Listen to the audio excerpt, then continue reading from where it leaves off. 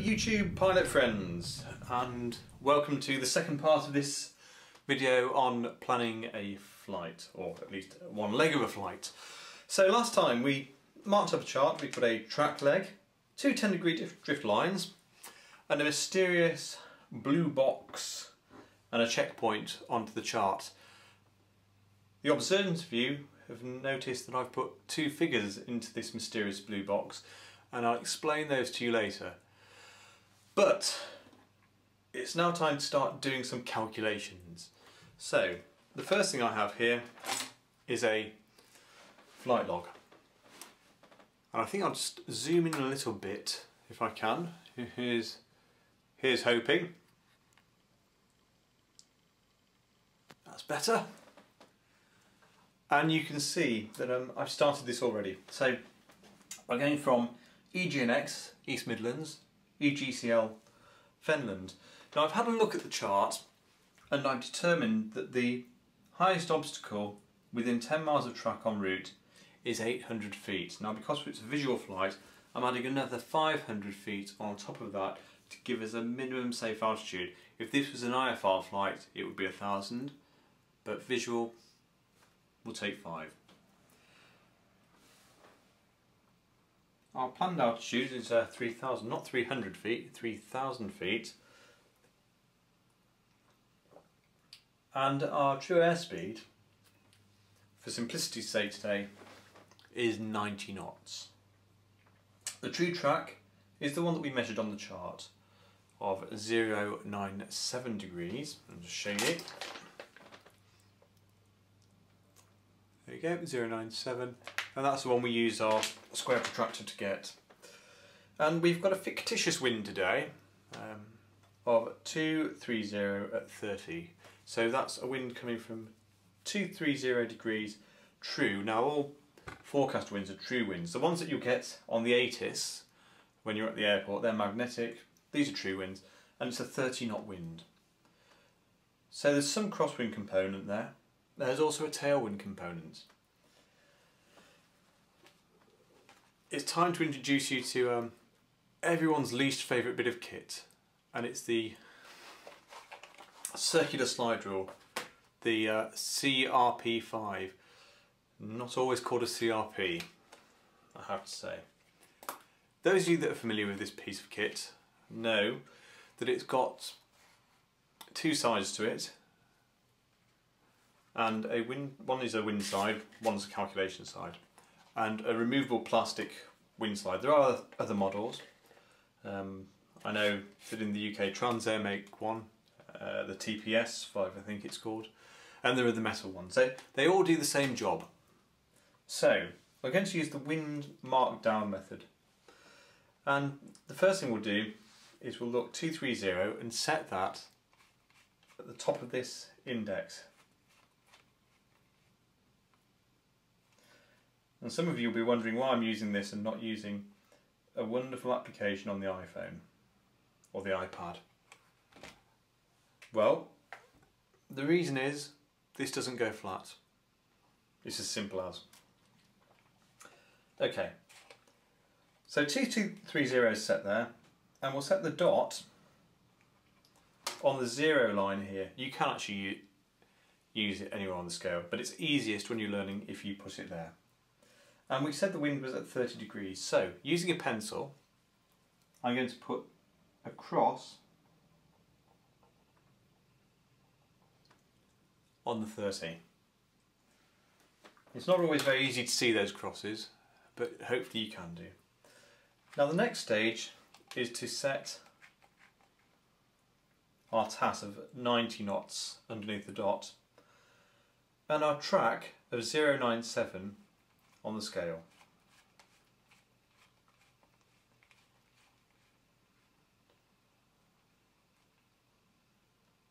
So 097 set, TAS of 90, and we can see that the cross has now moved to this location. Now following these drift lines down, it's between 11 and 12, quite 12 degrees of drift. And we have to wiggle what we need to do now is take 097 and place that 12 degrees to the left. So I'll do that now.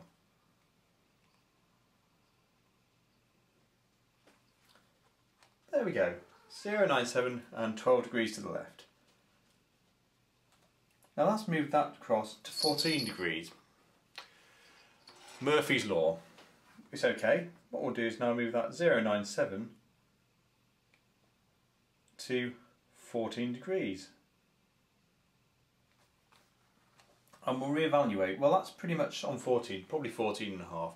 But it's, it's, as they say, good enough for government work.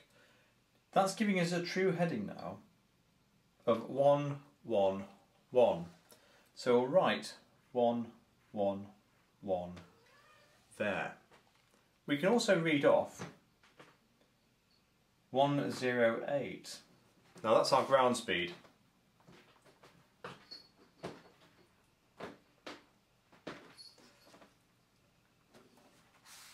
So using the wind side of the calculator, we've got a heading and a ground speed.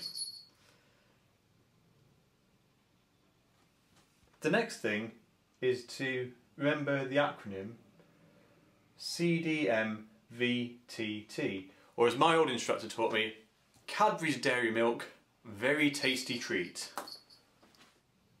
C D M V T T. We're actually going to reverse it for doing this.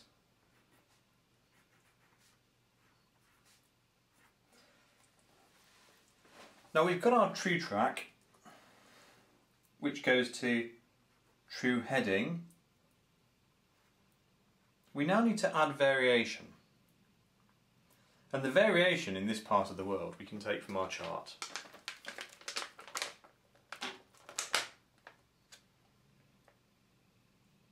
And if we look, we know that there's a, a line that passes through there with a variation of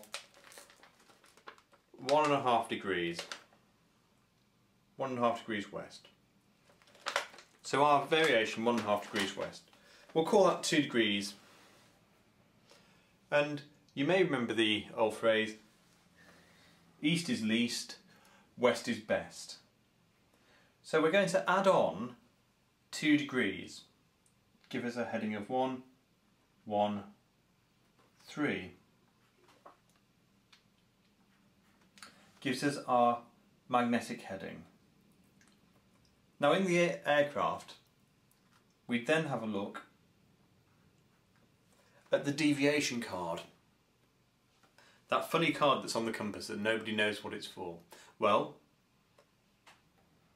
we can have a look and we can apply the deviation that's noted on that card. It may be a couple of degrees and that would finally give us our compass heading. But at this stage of the planning, because we don't know which aircraft we're in, perhaps, we haven't got to the airfield, there could be a change, any number of factors, we stop the calculations and get 113 is that magnetic heading. Going back to the chart, we'll put 113 into this top box.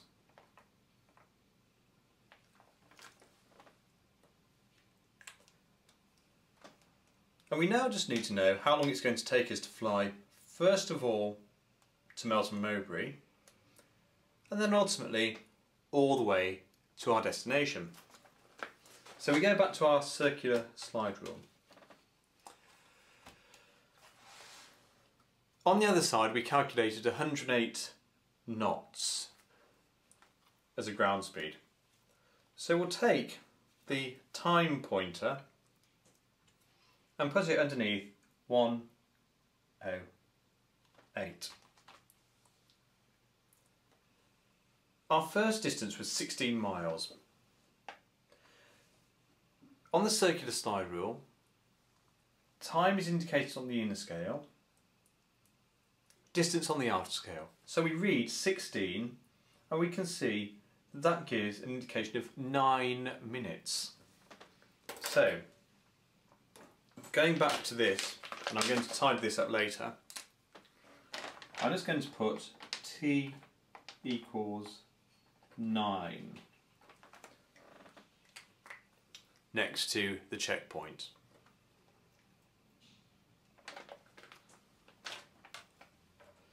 Now the next piece of information is it's a 48 mile leg.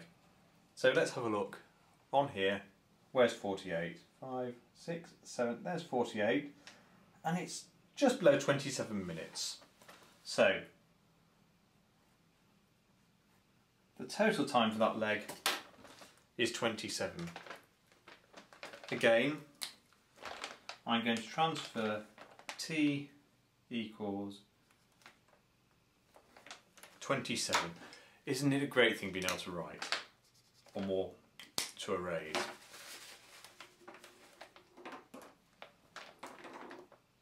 So 27 minutes.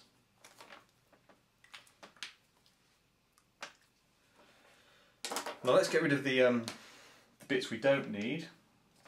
We don't want that particularly.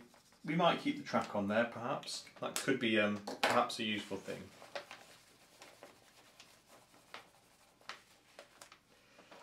It's a good idea really to put that 27 and we'll use the hour format here in this box. So now the box gives us information, it gives us our heading, our time, our altitude and our MSA and it points in the direction in which we want to fly. We now know at 9 minutes we're looking for a checkpoint at Melton Mowbray, 27 minutes we should arrive at Fenland. And all of that's on our plog, neatly noted down there. All we'd have to do is not write down our takeoff time. So let's assume we take off at 13 minutes past 1 GMT. Once we're established en route, we then do a mental calculation and we come up with a ETA of 40. We just do the minutes. That's all we need to do. Now that ETA may be revised. We may get to Melton Mowbray and decide that actually our ETA is wrong. As it happens, Melton Mowbray is a third of the way along the route. So let's suppose we got there at 10 minutes and not 9 minutes. Well, we would know then that it was likely that our time would actually be not 27 but 30. And so that we would arrive not at 40 but at 43. So we can make a sensible correction at that first checkpoint. Well thanks for listening and I'll see you next time.